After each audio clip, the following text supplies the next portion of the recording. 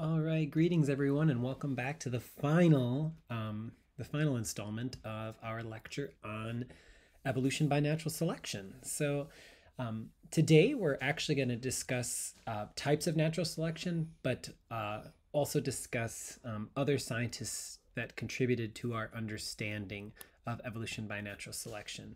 So um, there are what's important to remember is we we've just we have talked about patterns of, of macroevolution um, but we really should be focusing in order to remember to talk about how macroevolution occurs you have to understand how microevolution occurs because remember small changes over time add up to big changes.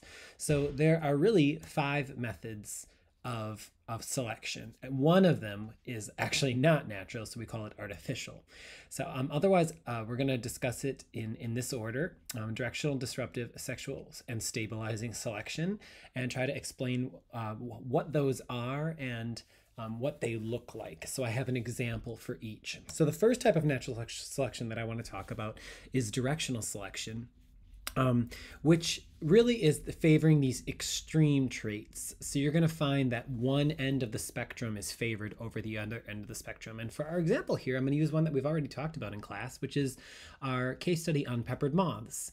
Um, you might recall that um, before the Industrial Revolution, um, all of the trees uh, where the peppered moths lived in that habitat were uh, light in color. So the moths that survived tend to be the lighter colored moths because they were able to blend in with the tree. And and here actually let me let me show a picture and then I'll come back. So these moths right here were the ones that survived pre-industrial revolution because they blended. A darker moth, this one right here, um, would have died because it would have stood out like a sore thumb. But remember, post-industrial revolution, all of the tree trunks were were covered with this well this one actually looks like it's been burnt right? This this tree it's so heavily covered with soot it looks like the tree was almost in a, in a fire. Um, so uh, in that instance sorry in that instance it was these light colored moths that were selected against and these were selected for right? These were selected to survive essentially by nature because they were able to blend. So if i go back to our graph here um, you're going to notice that I'm actually graphing them in a dark forest. So if the forest is dark, um, we are going to see right here our y-axis is looking at the number of peppered moths. Look at how many dark peppered moths we have, right? If this is all the way on the light end of the spectrum and this is getting darker and darker moths down here, um, we have significantly more darker moths in a dark forest because the dark moths um, were the ones that are able to blend and survive. That's directional selection. You'll notice we have very few, right? If this right here is zero on our number line on our y-axis, if this is zero down here, we have very few moths at that end of the spectrum because they don't blend. Um, birds spot them quite easily, pick them off of the tree, and they all die and aren't able to pass on um, that trait, that color, to uh, the next generation. And so the only moths that end up surviving for generations and generations are the darker colored ones. So that's directional selection. That's pretty easy for most people to understand because we see that all the time. Now, uh, the next one I want to talk about is disruptive selection. Uh, disruptive selection is similar actually to directional selection, but um, selection at both extremes, not just one extreme, but both extremes are actually favored. So I'm going to talk about weeds. Um, remember, there's no actual scientific definition of a weed. A weed is nothing more than um, is nothing more than something that we find that we don't want human beings. Um, if you actually look in nature right weeds don't exist. Plants just grow where they grow. Um, but when we're talking about how we think of weeds weeds have really um, evolved to operate to um, occupy two different niches. So I'm going to try to graph this here. This is disruptive. So you're going to notice in this graph, I have a lot of weeds that are really, really short, and I have a lot of weeds that are really, really tall. So the question is, um, you know, why? Why is this the case? Why are there a lot of weeds that are really, really short right here? Um, and all of the weeds that are surviving on this end of the spectrum are occupying this niche are weeds that might survive in. Now, you'll have to forgive me because I'm writing with my mouse here, which is a little hard for me to do. I'm not very good at that. but these are weeds that would be able to survive in your lawn. Because if you think about it, we're constantly cutting our lawn like once a week in the summer. So the only weeds that would make it are weeds that don't get clipped by the lawnmower. So weeds that are short, like crabgrass, survive really, really well in the lawn. On the other hand, if you're surviving in the lawn and you're a tall weed, you get snipped, right? But then that begs the question why are there still a lot of tall weeds on the planet? Um, and really, the reason for that is these are going to be wild weeds. So if you look in a ditch, um, right where there's not a lot of cutting happening, you'll notice um, these Phragmites weeds uh, are really successful. And I'm going to show you a picture of both of these right now. So uh, let me let me just uh, better illustrate this for you. Um, here we go. So these are going to be short weeds that survive really well. So you'll notice we've got dandelions. Now the dandelion you might not think of as a short leaf because obviously it erupts out of out of your grass but the majority of the plant is still really, really short, right? You can actually see that leaf right here. Um, this part of the dandelion wants to be tall so that when the breeze picks it up, it spreads. These are all the seeds, right? And then it, it spreads along your yard. Obviously, dandelions have become incredibly successful because we see them all over the place. Uh, right here, this crabgrass is another example of a very successful weed because um, it uh, grows horizontally, right? It grows in this direction and that way, when you cut your lawn, because you you clip it vertically, you clip the blade vertically. Crabgrass, which grows horizontally, um, is incredibly successful and has evolved to be successful. These weeds have evolved to be successful because they're short. On the other hand, this right here, you guys have probably seen this. Um, this weed has completely taken over cattails um, in most uh, wetlands here in Wisconsin. Um, this is actually an invasive species. It is indeed a weed, but it's successful because of how, how tall it is. So the reason it it is successful is because it outcompetes for sunlight versus shorter weeds. The shorter weeds end up dying out in a wild environment because they just don't have enough sunlight to photosynthesize and survive um, and pass on um, their traits to the next generation. So again, this is disruptive. We've got short on this end of the spectrum, and on this end of the spectrum we have tall. And weeds in the middle, in between these, are not really effective. So if I go back to my graph, right, um, we don't have a lot of medium-heighted weeds for that reason. So, all right, so the next thing I want to talk about, so we talked about directional and we talked about disruptive. Now let's talk about essentially the opposite of disruptive, which is stabilizing. In the previous graph, I showed you essentially um, like a like a U curve, right? Now, stabilizing selection looks more like the common bell curve, right? Where we don't have the extremes selected for. Actually, the extreme traits are selected against. So weight of newborn babies is an example of uh, stabilizing selection, right? So we don't have a lot of babies being born that are, you know, right here that are about three pounds, let's say, right? Because babies that are born three pounds are probably premature, um, and a lot of them sadly don't survive, right? We've gotten a lot better at that with, with modern medicine. Um, but what about babies that are like 15 pounds, right? There's not a lot of 15 pound babies either because that makes for very difficult pregnancies and so on and so forth. So most babies are born right here, somewhere in the middle, right? Most babies are about seven, you know, to eight pounds. Um, so we say that that's a stabilizing selection because um, it falls somewhere in the middle. It stabilizes. Uh, uh, and right, we see that. We definitely see that. We don't see a lot of like little Thumbelina babies. Obviously, this is just art. Um, but we also don't see a lot of these gigantic, chubby babies, even though they obviously exist, like little Michelin men. We see babies more in this spectrum right here. Look at how cute those babies are. So that's stabilizing selection. Now, the next is um, those three that we talked about are the most common in nature. This one, though, we do see as well sexual selection. Now, the, the difficult thing about sexual selection is um, sexual selection can occupy one of the other three that we already talked about. It really just depends. So, for instance, right, if you were looking at human beings, human beings undergo sexual selection, right, where traits um, from the opposite gender are selected for, right? We um, choose to mate with someone else or choose to date and marry someone else based on physical attractiveness, right? The same thing happens with other animals, right? Uh, with other animals, though, it might be like in this instance, I might be talking about the Irish elk here, and it happens to be the size of the elk antlers. So, um, as it turns out, um, female uh, elk, Irish elk, now Irish elk don't exist anymore, um, but female Irish elk, when they did exist, preferred male um, elk bucks that had massive um, antler racks. We're talking 12 feet across, which is just amazing um, that they were able to shed these antlers and regrow them every single year. Think about the massive amount of mineral resources that that would require for that animal. It's just phenomenal to me.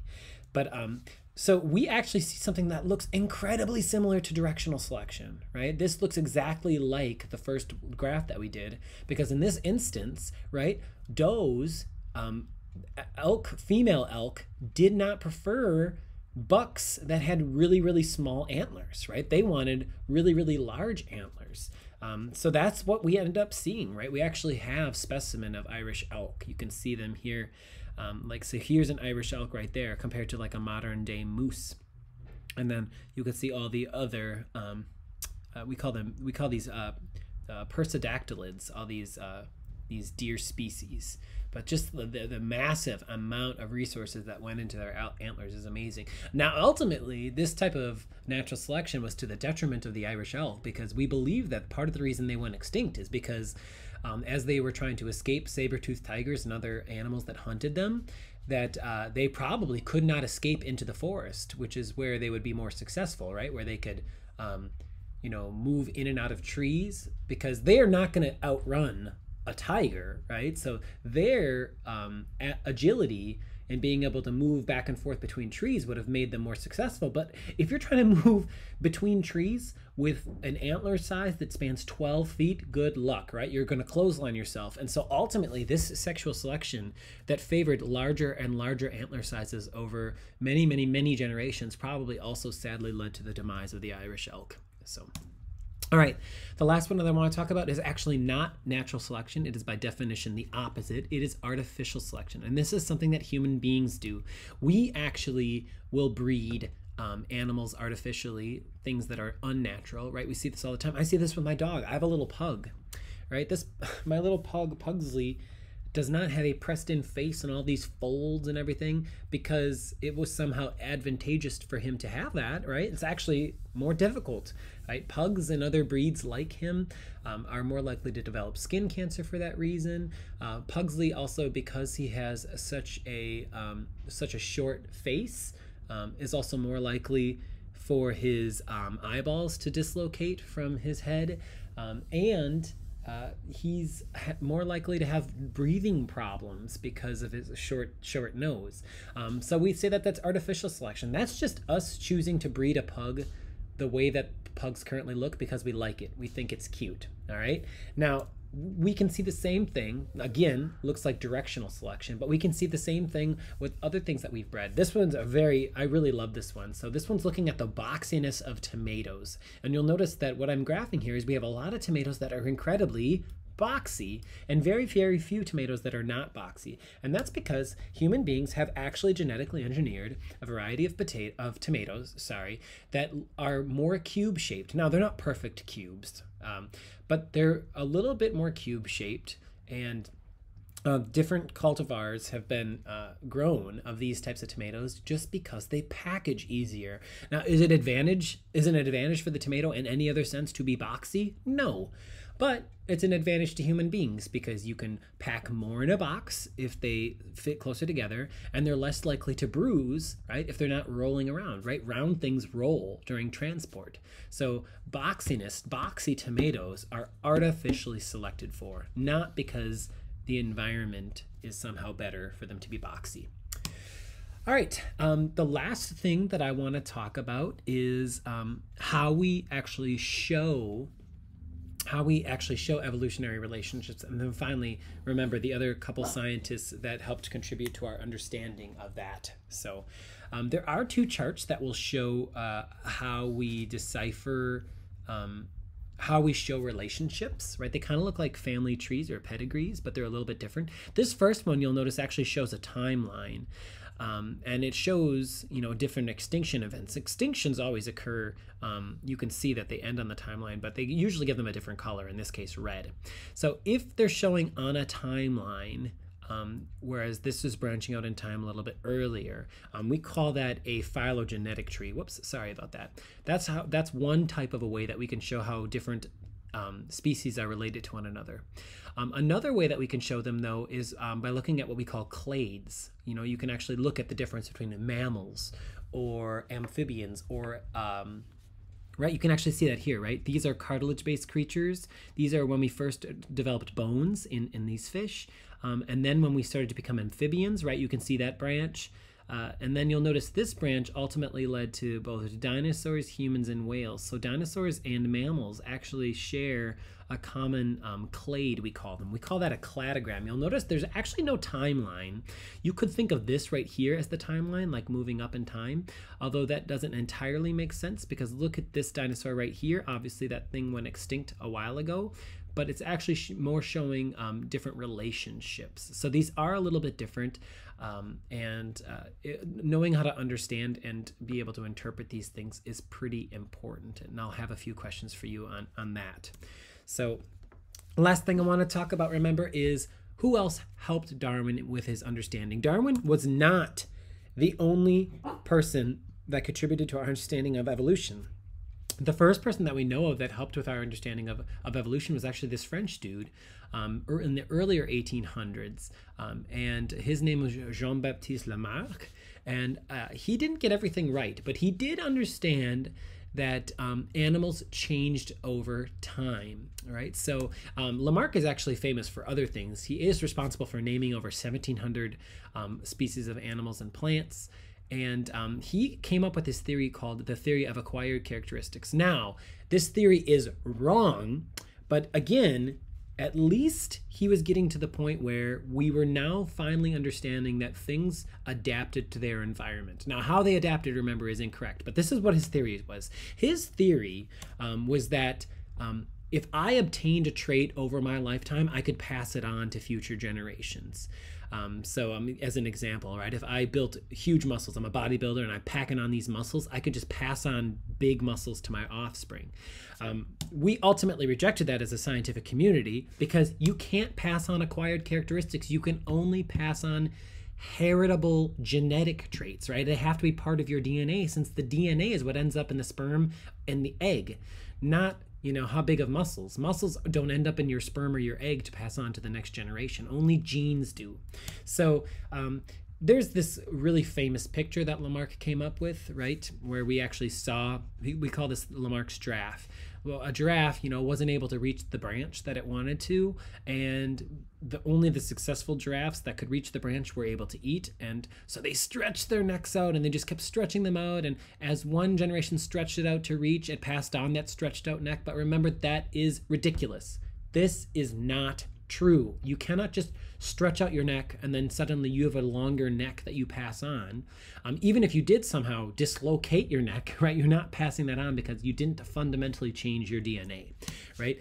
A really, really ripped caveman doesn't just give, uh, doesn't just uh, have a child that's super ripped, right? This is a joke. So Lamarck had it wrong. Um, there is no such thing as the theory of acquired characteristics in nature. He also theorized um, a theory of use and disuse, saying that if we use organs more, they'll become bigger and more emphasized, um, and that organs that aren't used will become will eventually vanish. And this does make sense, right? You would think, you know, why would I have something that I um, will no longer use? But there is something uh, that's wrong with this theory. If a trait does not disadvantage you in any way, there's really no reason to get rid of it, right? Humans, for instance, still have tailbones, despite the fact that we don't use them for anything, right? Humans still have appendices, despite the fact that that is that is certainly a vestigial organ. Most of us don't use our appendix for almost anything, to the point where a huge chunk of the population ends up getting that thing infected and has to have it removed. Are there a lot of ill consequences that occur once people get their appendix removed? Not really. So it's not that the appendix will be weeded out, right? People are still being born with appendices every single day. Um, now, on the other hand, if the appendix somehow made us more vulnerable to disease, yes, the appendix would probably go because those people would die and not pass on their offspring. But uh, this theory of use and disuse, um, while it may make sense, it is also um, not correct. All right. Uh, the, the last person that I want to talk about, and this is the last slide of our lecture, is Alfred Wallace. Um, it is important to note that Charles Darwin was not the only person ready to publish a book. Um, Alfred Wallace, which is an Englishman, um, was also going to be publishing his book. Um, as a matter of fact, he reached out to Charles Darwin for some some feedback on on his uh, manuscript, and Charles Darwin w- was so uh, upset about the fact that someone would beat him to the, the, the ideas that he had come up with 25 years prior um, that he quickly published on the origin of species first before Wallace could get his book out. So um, it is important to note that uh, if Darwin did not get this theory of evolution out there, right? There were other people at the time that were coming up with very similar theories based on the evidence. And I think this is just another testament to the fact that evolution is just as scientific as gravity because many, many people were seeing the evidence and seeing that evolution by natural selection, that adapting to environment and passing on um, beneficial genes made sense and again um, was backed up by um, scientific evidence. And that is it, folks. Thank you so much for joining me. I hope you have a great day. And um, as always, if you have questions, drop them in the comments section or reach out. Take care. Bye now.